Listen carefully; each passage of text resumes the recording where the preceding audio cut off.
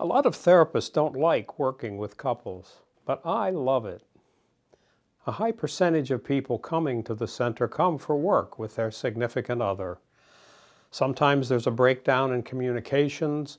Sometimes there are horrific fights that tear a couple apart. And sometimes there are disagreements about important issues, like how to raise the children or how to relate to extended family members. But almost every couple that comes to us is able to document a slow but definite loss of closeness and intimacy. In my room, they learn how to turn toward one another, how to speak their deepest fears and hopes, and how to respond to one another with understanding and love. A bad relationship can be like hell on earth, but a good one can be a little bit of heaven.